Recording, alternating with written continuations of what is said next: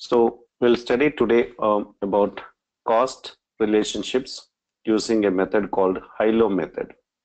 High-low method. What happens when we produce? What happens when we produce more goods? What happens when we produce less goods? See, as we studied that there are two types of cost according to the behavior, fixed and variable. Fixed cost is a cost which does not change as the activity level changes, like rent of the factory building does not change. But material cost will change as you produce more units, more is the cost, more is the labor cost, more is the variable or, or material cost, etc. So when you are producing more goods, you are spending more. When you are producing less goods, you are spending less.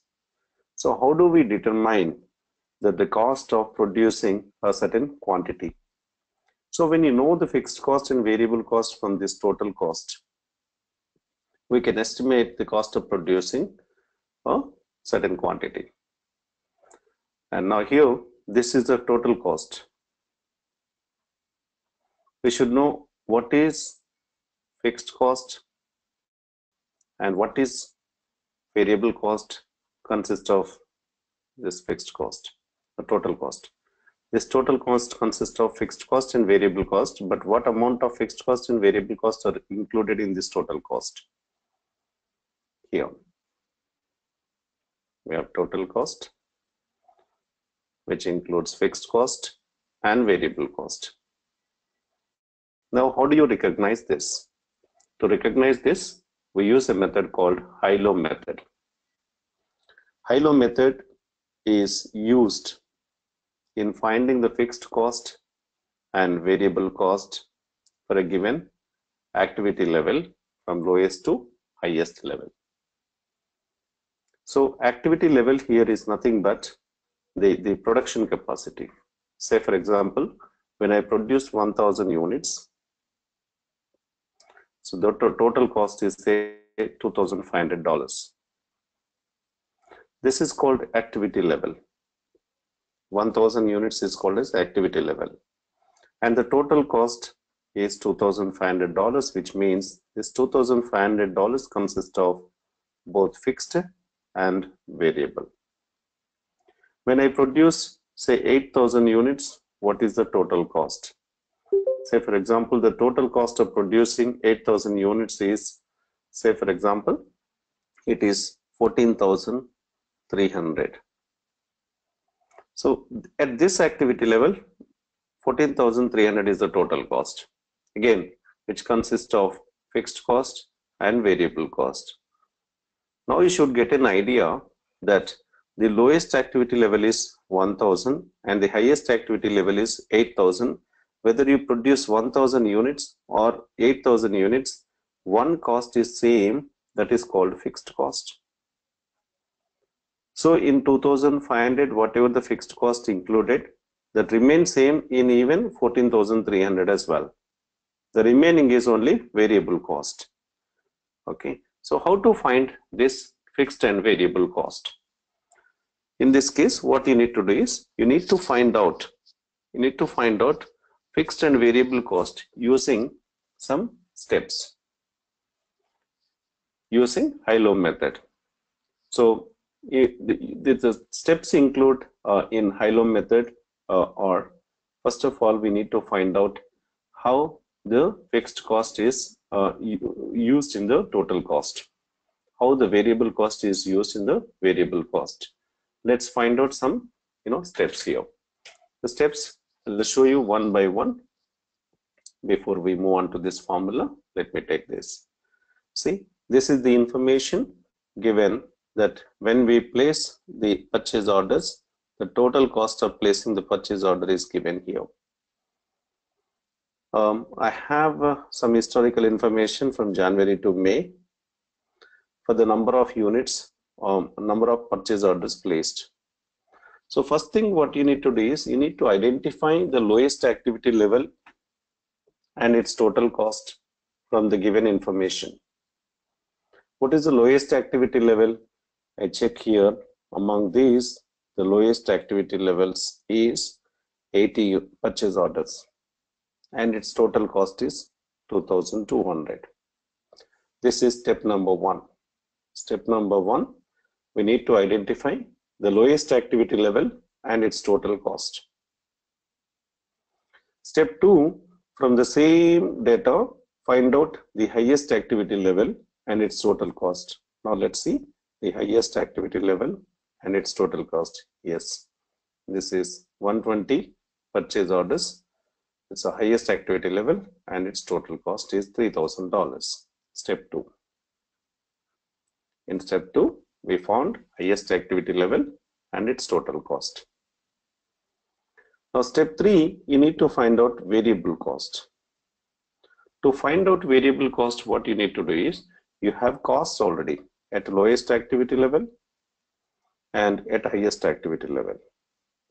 So the difference between these costs should be divided by the difference between the activities identified highest and lowest.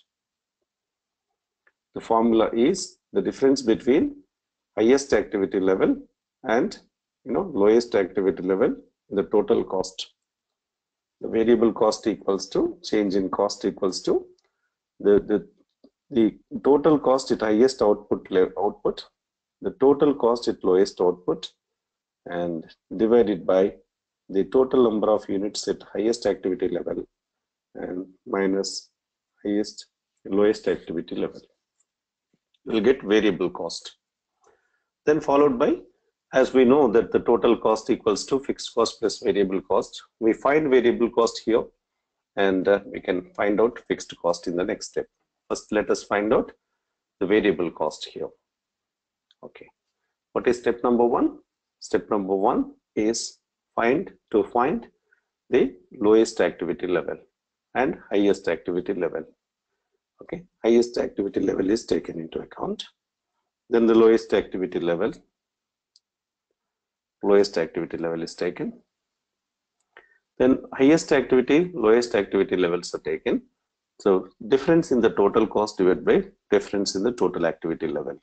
Let's use the formula to find out the variable cost. So variable cost equals to difference in the total cost and divided by difference in total output. $3,000 minus $2,000 divided by 120 units minus 80 units. It gives us 20 units per unit. This is $20 per unit. This is called variable cost. So variable cost per unit equals to 20 units. Now I have highest activity level. How many units here? 120 units. At highest activity level, I produced 120 units. For this, the variable cost is $20 per unit. So what is the total variable cost here? 2400. But what is the total cost at highest activity level? 3000. See, total cost equals to fixed cost plus variable cost. At highest activity level, the total cost is $3,000. $3,000 equals to fixed cost plus variable cost. Now you calculated 2,400. So this 2,400 will take here $3,000 minus 2,400 equals to fixed cost. So the fixed cost is $600. Fixed cost is $600 and you know variable cost is $20 per unit. Let us apply the same for lowest activity level as well. Lowest activity level. At lowest activity level, we produced 80 units, right? And the total cost is $2,200. So $2,200. Let me use the equation directly. We do not know, say, fixed cost plus variable cost is 20 per unit times How many units are produced? 80 units. So 2200 is the total cost, which includes fixed plus 80 times 20, 1600. Now take 1600 this side, 2200 minus 1600 equals to fixed cost. Therefore, fixed cost equals to 2200 minus 1600 gives you $600. Same here. Okay, please try to use only highest activity level and lowest activity level. You get the same way. So fixed costs remain constant within the activity level, within the relevant range. Relevant range means from lowest activity level to highest activity level, fixed cost will remain same. Hi, um, let's now discuss about uh, the costing methods. Costing methods in which we'll be discussing about different methods of costing used by different companies based on the nature of the business. Uh, let's take an example like uh, um, an auditing company to charge its client, to charge its client. Okay, a, a manufacturing company which is massively producing certain goods like televisions, yeah, laptops, etc. Is a you know which method they use. Activity based costing, like an interior designing company, okay, or a company which has lots of activities involved in a particular job. Life cycle costing, wherein the products are produced uh, with uh, lots of uh, R&D, marketing, etc. How do you find out the cost of the product or service? So based on the nature of the product, based on the nature of the industry, we use different costing methods. Now let's begin with the job order costing. What is job order costing? Job order costing is also known as specific order costing. Specific order costing means we get information from the client about his requirements. Then we work. We work on that info stating that what amount of material is required, what would be the labor cost, and how much of overhead that should be uh, charged to the particular you know work. So the moment you get confirmation from or instructions from the customer, we open a job sheet. We allocate a job number. And to the job, we add the cost of material used, cost of labor used, and overheads to find out the total cost. So a job sheet is open to which all the costs are accumulated, like you gave your car for servicing. The moment the garage receives a car, a job sheet will be opened. Job sheet with a some number, say job number 149. Then this 149 details will be there, your name, mobile number, email ID, address, etc. So works done. How much is the material used on this? Say $1,500. How much is the work of labor? Say $300. Then other overheads, manufacturing overheads or you know production overheads, say 200 the total amount $2,000 plus some profit markup. Say we charge 20% markup on this amount. So $2,000 plus 20%, that is 400. So 2,400 is going to be the invoice value. Okay, so 2,400 is the invoice value. So this particular job is consuming this much material, this much labor, and this much is overhead. So we came to know that the total cost incurred here is 2000 and we added our profit here. The job order costing is especially used for specific Uh, uh, uh, products and services. They, the specific products and services are called as heterogeneous products. Heterogeneous products means the requirements of a customer um, are distinctly different from the other customers. We do not produce and wait for the customer.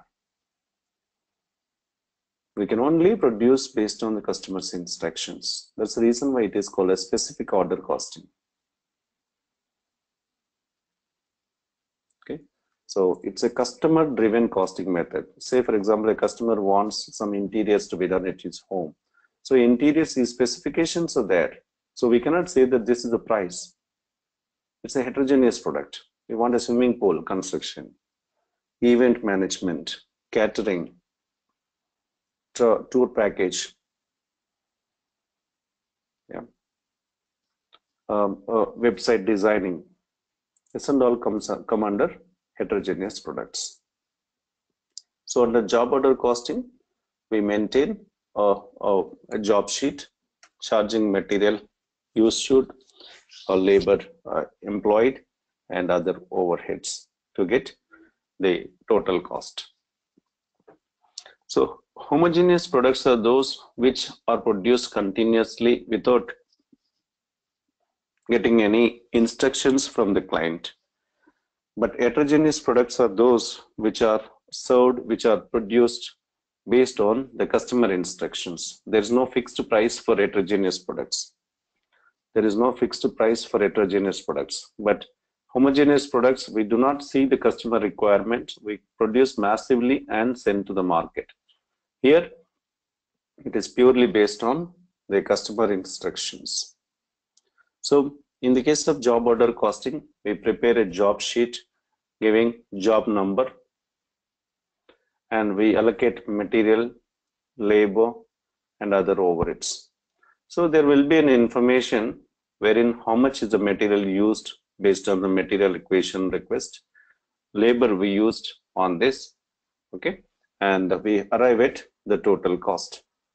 And we issue the job sheet to the costing department to charge the client. So here what you need to do is you need to find out that whether material purchased whether material purchase is used to the particular job or only partially used. Say, for example, we purchased 1.9 million worth of material. This material was purchased on account, on account in a sense, credit. So, direct material account debit, accounts payable credit. From this 1.9 million, we might used only a particular uh, job 1.890 okay 1,890,000 is used so this will be transferred to a particular job labor this much is a labor used 390,000 is a labor used so whatever the consumption of material and labor a particular job you will record a job number and you know the crediting the material labor and all once you complete the material labor and overheads that would be transferred to the customer account. Customer account will be debited and sales account will be credited. The sales will be adjusted the cost of goods sold and all. Let me show you with one example. One example like job 123. We have direct material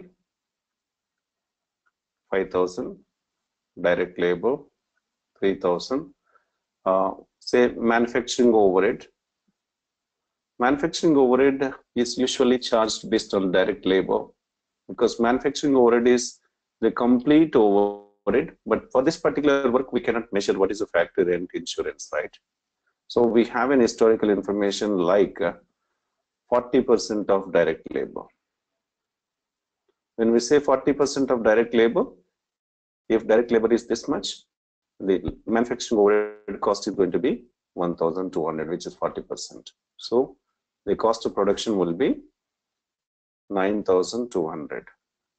And remember, under job order costing, no work in progress adjustments because it's a specific order costing.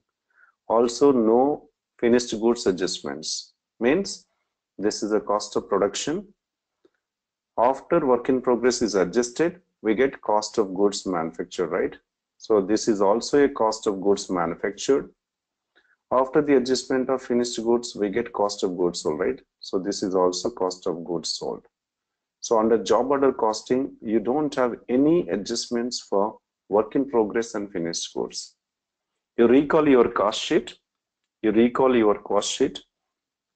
After cost of production, you have work in progress adjustment that will give you cost of goods manufactured and the finished goods uh, adjustment that will give you the, the you know uh, cost of goods sold. So these two amounts are not to be adjusted because there is no work in progress and finished goods first of all. Why should we have when uh, the customer is giving an order, we will produce only exactly what he wants. There will be no closing, no ending because it's a customer specific order, right? We cannot produce and wait for a customer. So please do not consider any kind of work in progress and finished goods adjustments in job order costing. So cost of production, when you arrive at cost of production, which is the total of direct material, direct labor and manufacturing overhead, that itself is the cost of goods manufacturing and also cost of goods sold.